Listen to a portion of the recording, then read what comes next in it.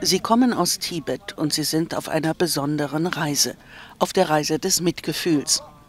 Bei ihrem Stopp in Islamorada im US-Staat Florida ließen die buddhistischen Mönche die Meeresschildkröte mit dem Namen Drifter frei.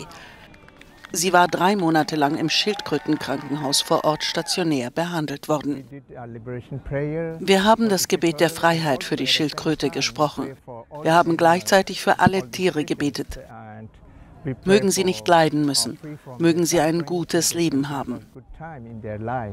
Hunderte Menschen hatten sich versammelt, um diesen Akt des Mitgefühls mitzuerleben.